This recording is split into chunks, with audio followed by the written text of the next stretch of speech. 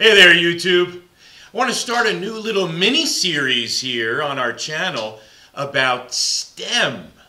Now, I'm not talking about plant stems, but I'm talking about another kind of STEM. You may have heard of it already, but STEM is an acronym. It stands for science, technology, engineering, and mathematics. And it's a big buzzword today, and a lot of people, when they hear STEM, think of uh, computers and robotics and, and things like that, big projects that cost a lot of money.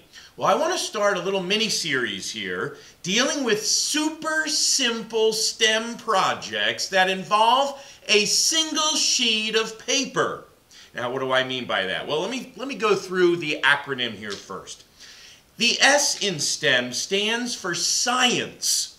Now, as a science teacher, it's close to my heart. I love science. And if you look above me, you'll see the steps of the scientific method. Problem, hypothesis, procedures, observation, and conclusion. And science is all about repeating things, doing things over and over again. You start off with a question, you go through the scientific method, and you come up with an answer. And chances are you're going to have many more questions to try to solve. The T stands for technology. Now, nowadays, people think technology is all about computers, cell phones, and the like. Well, technology can involve any tools. It could be something as simple as a stick. A stick is a tool if you are using it to accomplish a task.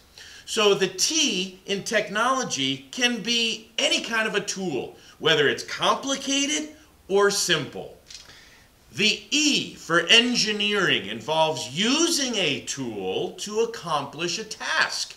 So that stick I mentioned could be a tool used to accomplish a task like, say, moving a rock from one place to another in your yard. That is engineering. And trying to find the best stick for the job ties into engineering because you want to improve the design of even a stick in order to make the job easier for you.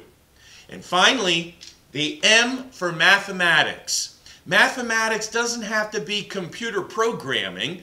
The M for math could be simply measuring something with a ruler.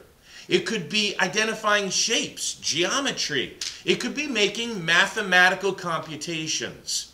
So as we go through this little series on STEM projects, I want you to keep in mind that it doesn't have to be really expensive computerized robotics type projects. It can involve, as we're going to see in this series, a single sheet of paper. So I hope you enjoy this next little series on super simple STEM projects with single sheets of paper.